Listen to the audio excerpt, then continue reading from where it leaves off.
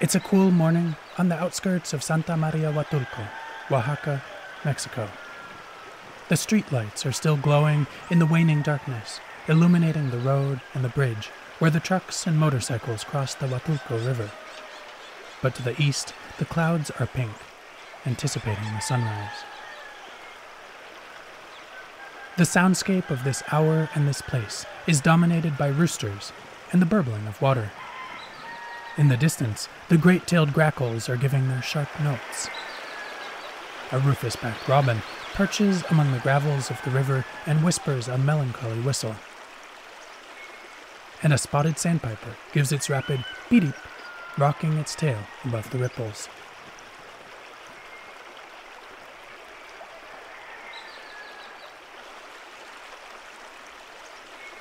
Hi there, and welcome to the Wild with Nature podcast. I'm Shane Sater. This story, from March 2024, is called An Explosion of Voices Listening to the Birds and the Huatulco River. If you'd like to follow along with text and photos while you listen, you can find this story in written form on my website, wildwithnature.com. And now, let's continue with the story. Part 1 Listening to the Huatulco River. The Huatulco River has many voices and infinite stories. The water converses with the stones, burbling and gushing, always flowing towards the ocean. Sometimes the water roars horribly, like it did two years ago. Hurricane Agatha arrived with fury, carrying away bridges and great trees leaving behind a rocky, open riverbed.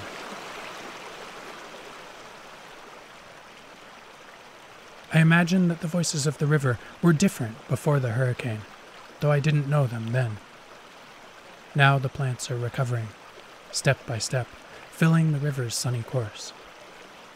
It's a process that will take decades before there are big trees at the river's edge once again. But in the meanwhile, life in its diversity continues.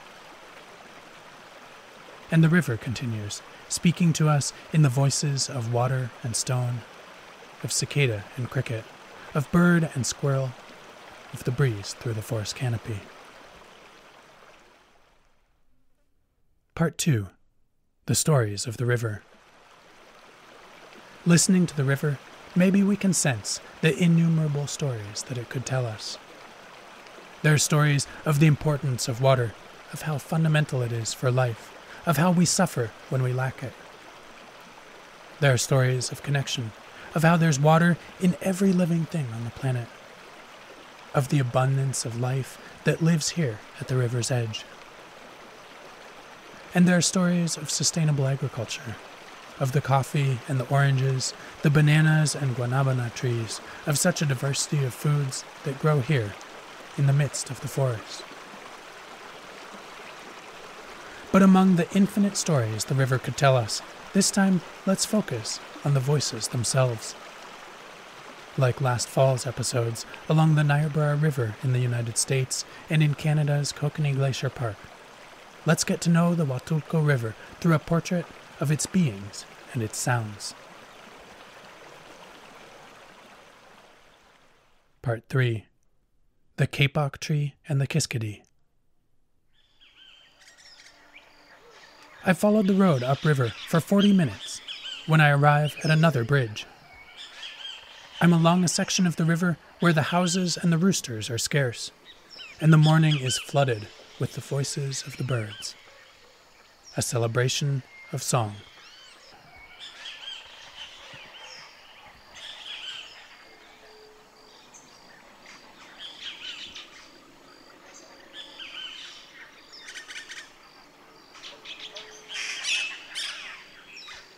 A hint of mist rises slowly from a pool in the river, the vapor dancing in the morning light. In front of the bridge is a great kapok tree, its leafy canopy touching the sky. The change towards spring is evident in its tender new leaves, the color of copper. And there, among the branches, a great kiskadee is singing, the most conspicuous voice in the songbird chorus. Do you hear it? This repeated, insistent kiskadee.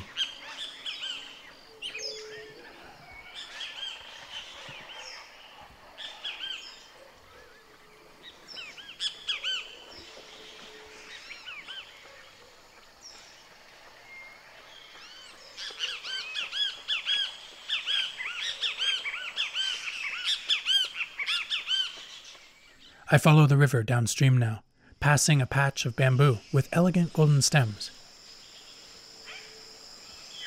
A papaya tree at the edge of the forest has many immature green fruits hanging on its trunk. One of them already has a hole where some bird, perhaps an oriole, was feeding. Part 4 A Robin and a Motmot. A rufous backed robin is perched in a tree at the river's edge, giving introspective whistles. In the distance, we can hear other birds yellow winged caciques, cinnamon bellied saltators, and black headed saltators, a white tipped dove, a handful of West Mexican chachalacas. We'll return to a few of their voices further along in the story.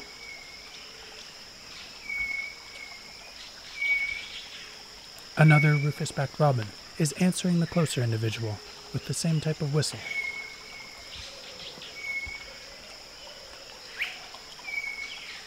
Suddenly, a slender form glides across the river and lands on a branch. It's a rufous crowned motmot, a bird dressed in the soft colors of the forest. His back has the greens of banana leaves and of the guarumbo tree. His head is painted with tones of clay. Behind his eye is a patch of black and deep blue of nighttime shadows surrounded by the sky at dusk. The motmot moves his tail from side to side. The rufous backed robins continue calling. And then the motmot begins to sing, a rough, deep syllable that he repeats every few seconds.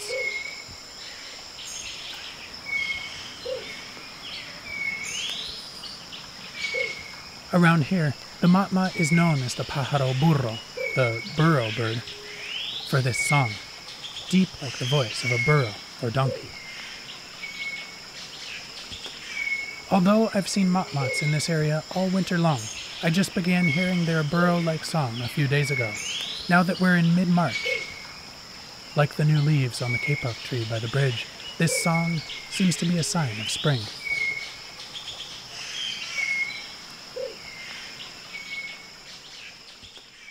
Part 5 The Conversation of the Birds, Here and Now.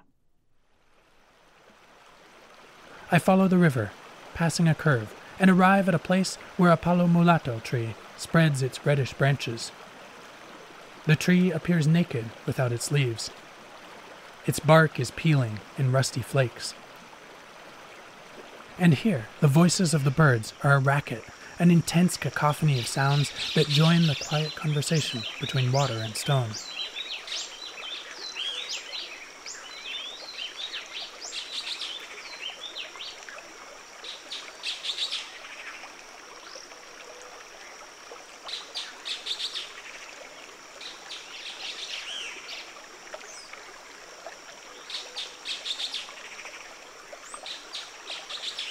The conversation is always unique the signature of this place on Earth at this particular moment. It makes me think about something that my friend Mayuko Fujino wrote recently. Mayuko, an amazing artist and nature lover, grew up in Japan and now lives in the Hudson Valley of New York State, USA. Thinking about the birds and how every moment in nature is unique, she recently wrote about the Japanese concept of ichigo ichie, the idea that every moment in life is unrepeatable and special. I couldn't think of a better way to describe the soundscape of this place.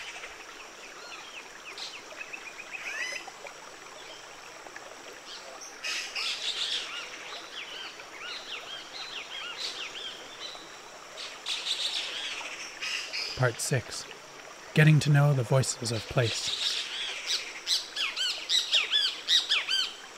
At the same time, the unique voices of here and now form part of something universal, a sound signature of every place in nature, made up of the voices of wind and water, bird and insect, coyote and puma. Sometimes it can be subtle. In the cold winter of my home landscape in Montana, USA, perhaps it's nothing more than a lonely magpie among the sighing of the wind.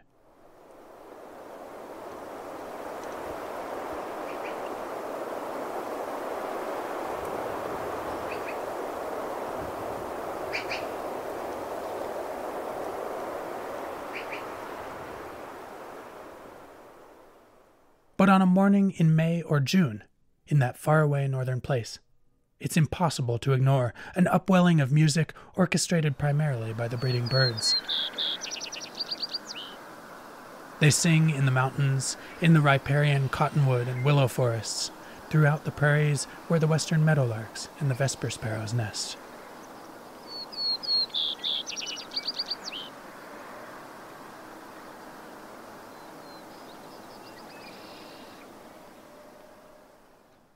Here in Oaxaca, most of the breeding birds are different. But the voices are part of this same conversation, this upwelling of song and sound that defines and connects each place on earth. You can hear it from the capulines and guanacastes along the rivers, from the nopales and mesquites in the desert, from the incredible diversity of treetops in the rainforest. It's a music that you can appreciate even without understanding it.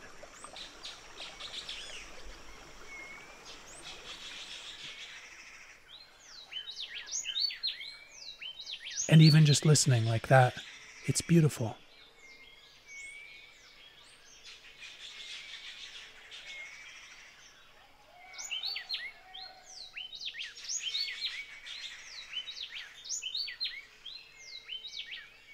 But it's more than just a collection of pleasant sounds. The river, the birds, the insects, they're our neighbors, and they're talking with us.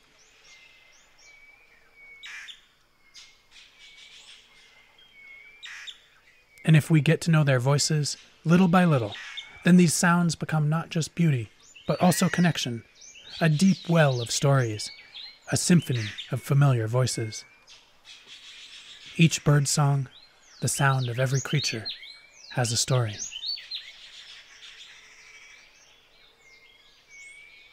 Part 7 The Voices of Nature. This episode marks the start of a new thread in the tapestry of stories, subjects, and connections that make up Wild with Nature. Along with each episode that I share with you here, episodes that celebrate the unique personalities of various places on Earth, that speak of connection with nature, of birds and plants, of insects and migrations, of people and their stories. Now I'm going to begin incorporating this theme of the voices of nature with more intention. It's not something completely new. I spoke about it directly in last summer's episode, Earth Song. And in many other stories, I've woven in the voices of the birds and the sounds of nature. But from now on, I'll be doing it more often and more intentionally.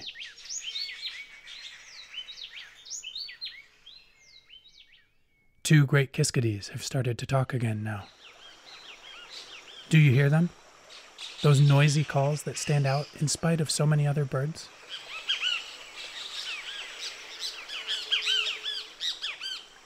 In the last few minutes, they've been quiet but busy, carrying twigs and filamentous flowers to a fork in the palo mulato tree. Here, they're constructing their nest.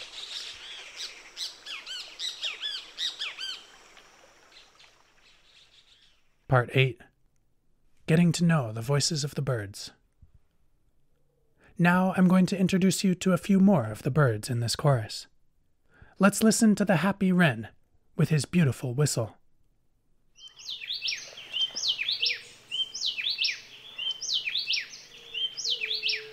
Note how he repeats the same phrase many times, one after another.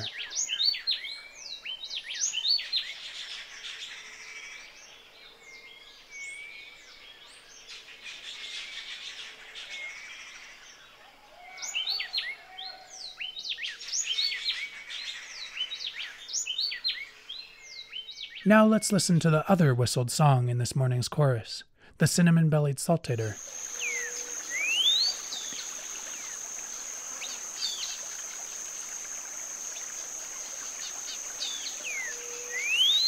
This one doesn't repeat the same phrase right away, like the happy wren, and every phrase sounds like a question.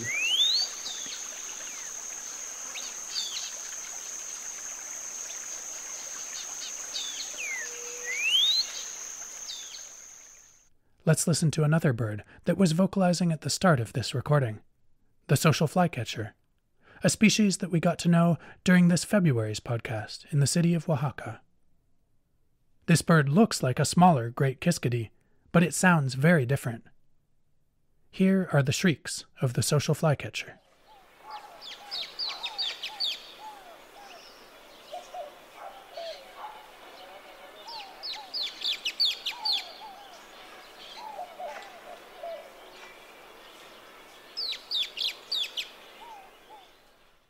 And now, to compare, let's listen to the great Kiskadee again.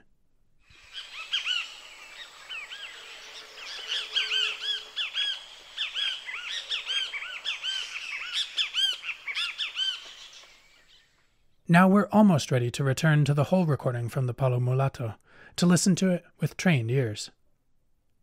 Let's meet one more bird first the black headed saltator. It's a relative of the cinnamon bellied saltator, that bird that whistles a song that sounds like a question. But the song of the black headed saltator is very different, a noisy chatter that accelerates.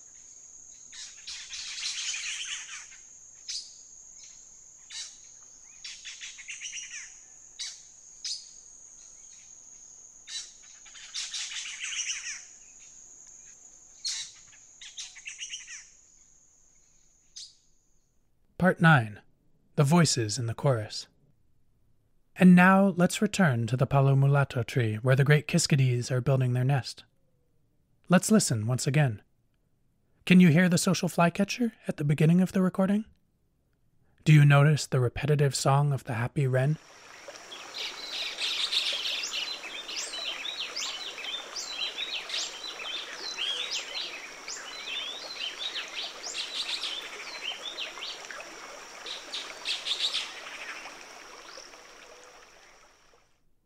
The cinnamon bellied saltator is very distant, singing his questions from a sunny thicket beneath the guarumbos. But the black headed saltators are just across the river, vocalizing noisily every little while. Do you hear other birds as well?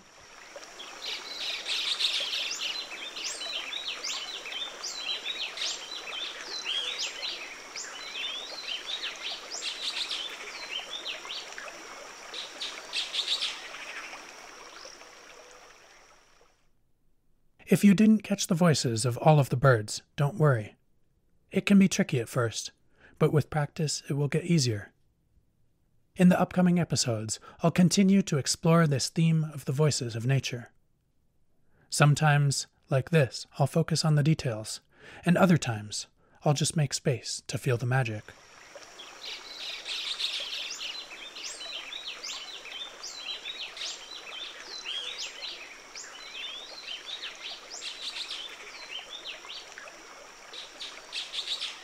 I hope that you'll join me. Part 10 Magic along the Huatulco River. Because there's magic here, without any doubt. Maybe we can find it in the conversation between water and stone, in the calls of the great Kiskadees talking to us from the kapok tree in the Palo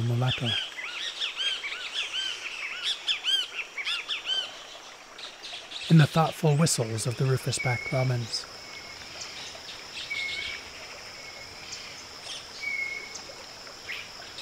The calls of the rufous-crowned motmot, the pájaro burro.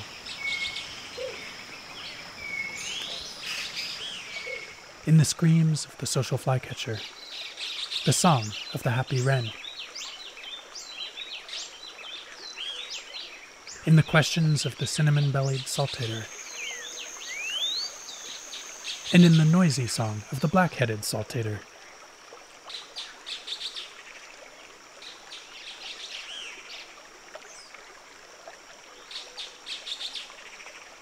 And so, I leave you with these voices of the Huatulco River, with this recording of a few unique, fleeting moments, this Ichigo Ichie of nature's universal conversation.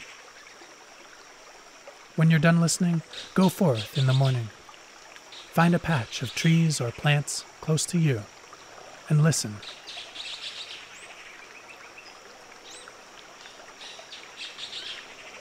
I hope you find the magic too.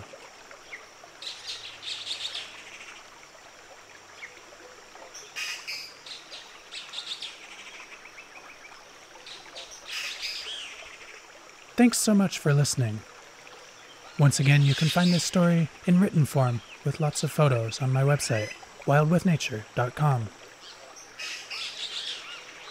This is an independent storytelling project, and that means that I rely entirely on the generous support of my community members who support me through Patreon or other donations to keep going.